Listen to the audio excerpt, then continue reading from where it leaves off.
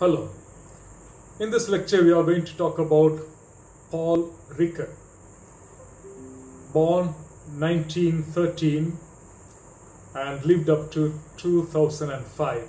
So, if you notice, he just died 15 years ago.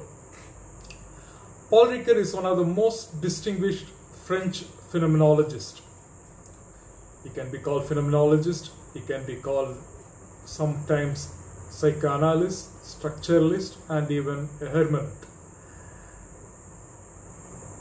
He made an impact in the 20th century philosophy. He began his philosophical career at a time when phenomenology and existentialism were influential in intellectual circles in Europe. As a student in Paris in the late 1930s, and subsequently as a prisoner of war in Germany during the Second World War, Ricoeur read the works of Husserl, Heidegger, Jaspers, and Marcel. In fact, he was a student of Gabriel Marcel himself, thereby establishing himself as a leading authority on phenomenology. Later, he became increasingly concerned with the problems of interpretation and developed through detailed inquiries into psychoanalysis and structuralism a distinct hermeneutical theory. In his later writings, Ricoeur explores the nature of metaphor and narrative, which are viewed as ways of creating new meanings in language. So, as you notice, he was a versatile person. He has worked to reconcile various perspectives phenomenology, existentialism, hermeneutics, psychoanalysis, structuralism, narrative theory, and offered a new kind of mediating vision that is often set aside in pursuit of some single framework of inquiry. One of his recent books was on ethics and it was titled Oneself as Another. It manifests a kind of wide reflective equilibrium that is rarely to be found among the competing specialism of the present day philosophical debate. Briefly, I will explain to you the stages of long philosophical itinerary of Ricoeur. Ricoeur's death in May 2005 brings to a close the thinking of an author who has achieved a great deal in philosophy. Paying attention to his work and major themes which he explored can help us to structure his thought into four major stages. The first stage is the influences he had already from 1950. The second stage is when he focused on phenomenology for about 10 years between 1950 and 1960. And the third stage is when he began to focus on hermeneutics, which lasted for more than 30 years between 1960 and 1990. And in the final stage, he focused on what is known as the practical philosophy, the moral and political philosophies, which lasted about 15 years, the end of his life, from 1990 to 2005. As you notice, the hermeneutic period is the largest period, both in the number of years and also equally in the number of publications. And then he spent about 15 years in practical philosophy, morality, and politics. In this lecture, we shall focus on some of his important ideas. If we need to understand Ricoeur's idea, we need to probably begin with his famous work, The Symbolism of Evil. He discovers in The Symbolism of Evil a certain idea about finitude and culpability. This offers semantic potential for indirect language, which is characteristic of archaic, mythical, symbolic discourses. Hermeneutics is revealed as the empirical descriptive method necessary for analyzing symbols and myths, in which are expressed multiple modalities of the problem of evil and guilt. By proceeding in this way, Ricoeur produces what he calls the grafting of hermeneutics onto phenomenology. Such a grafting implicitly bears a critique of the phenomenological method that fails to contemplate human reality in its totality because it marginalizes the sense expressed through symbolic forms and myths. This, according to Ricoeur, is a serious failing, especially if one takes into account that the subject does not know itself directly, but only through the symbols deposited in its memory and its imaginary by the great cultures. Myths and symbols are understood as productions that refer to us, refer us to a more fundamental language that is through and through symbolic. In order to under, understand this language, an interpretation of the symbol was needed. In other words, we need a group of rules that would help us to understand this more fundamental language. Therefore, by applying this hermeneutics, Ricoeur achieves two objectives. On the one hand, he is able to respect the specific character of the symbolic world. On the other hand, he manages to think not behind the symbol, but rather from the symbol. This is exactly what he has been trying to express when he gives the title Symbol Gives Rise to Thought. Rather, symbol gives rise to thinking. In French, it is beautifully said, Le symbole se donne à penser. This is found in the epilogue of his book, The Symbolism of Evil, where he indicates this brief formula, the orientation of the symbolic hermeneutics which he practices.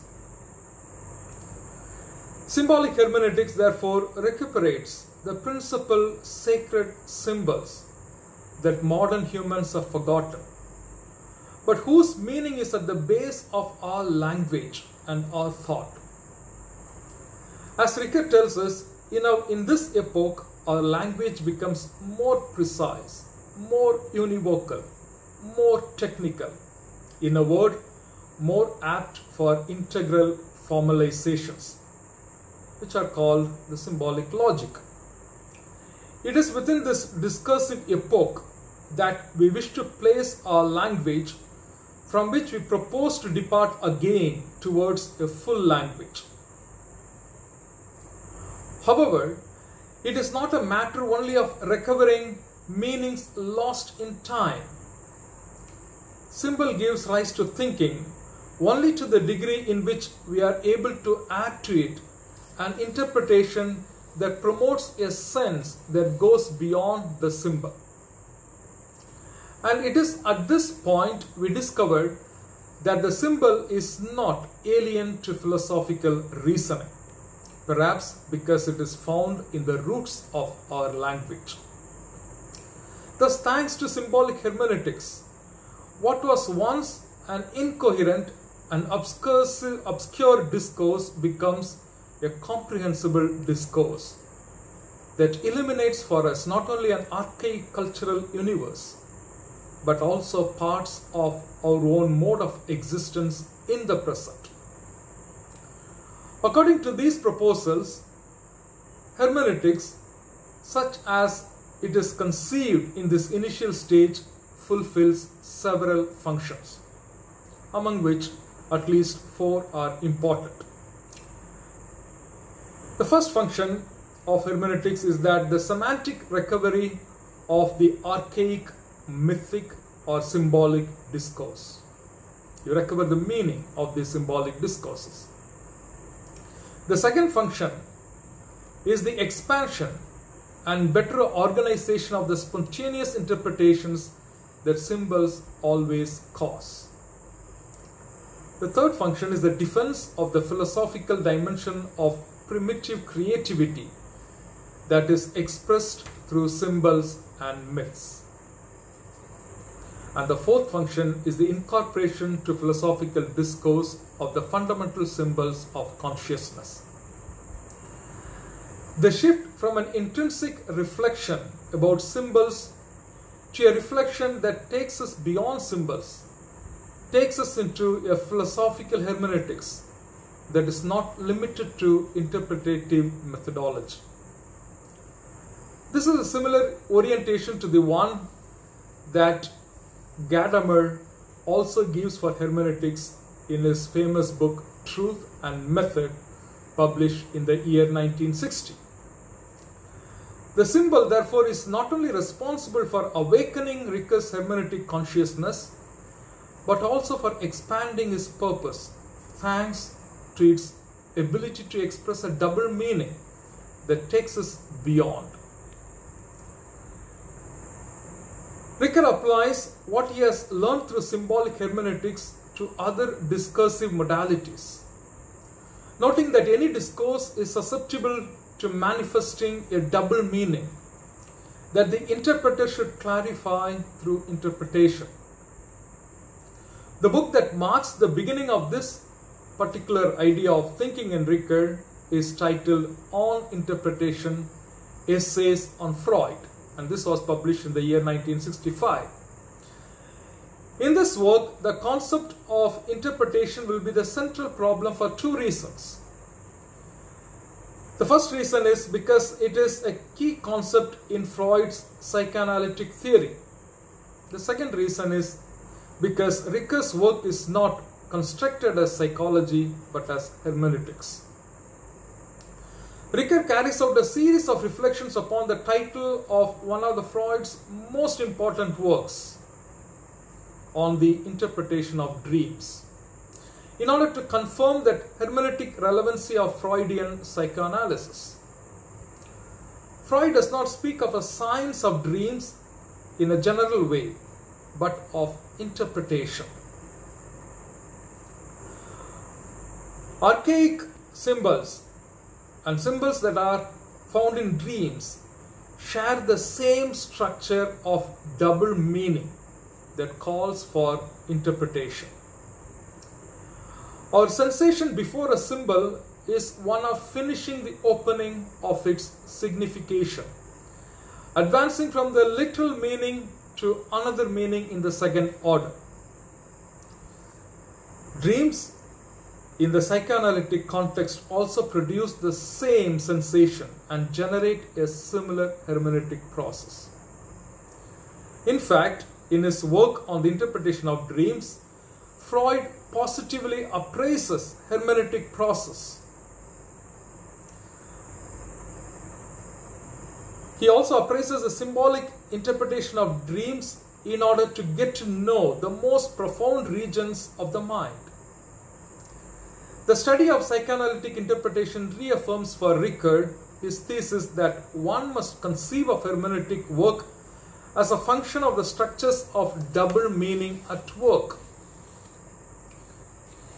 In the object of interpretation, interpreting symbols or dreams, what is brought up for examination by interpretative work is an intentional structure that does not consist of a relation between meaning and the thing, but rather on an architecture of meaning, in a relation between meaning and meaning, between the second meaning and the first meaning.